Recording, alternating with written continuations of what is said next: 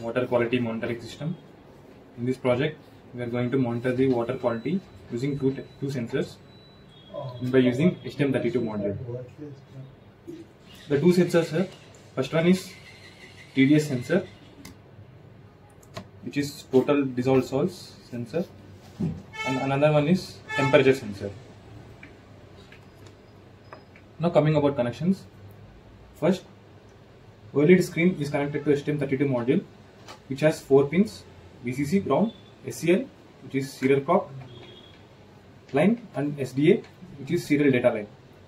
VCC is connected to 3.3 volts of STM32, ground is to ground of STM32, SCL and SDA are connected to B6 and B7 of STM32 module. Coming to TDS sensor, where positive and negative is connected to 3.3 volts and ground is connected to ground of STM32. Data line is connected to A3 GPIO pin of STM32 module. GPIO it is nothing but general purpose input output pin of STM32. At last, temperature sensor, where positive and data pin are connected to uh, both ends of the resistor. Uh, the resistor is of value 3.3 kilo ohm and negative is connected to ground of STM32.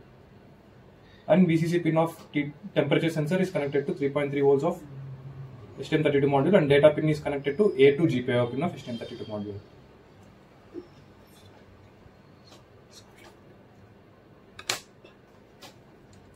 As we can see that there are two glasses of water, uh, one which contains normal water and another is salt water. I'm going to check the quality of normal water. It's a normal tap water. I'm going to dip these sensors inside the water. These sensors collect the data and they send to STM32 module. STM32 module uh, runs the code and it displays the data on OLED screen.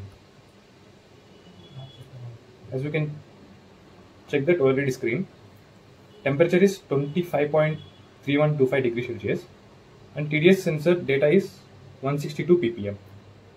Uh, for general purpose and drinking purpose of water, the TDS range is 0 to 500 ppm. As the range is 162 ppm, it's below the zero, uh, below the 500 ppm. The water can be used for drinking. And now I'll dip these sensors into the salt water. Now I'm going to dip these sensors in the salt water glass. As you can see, the temperature is uh, 24.3125 degrees Celsius. And coming to TDS,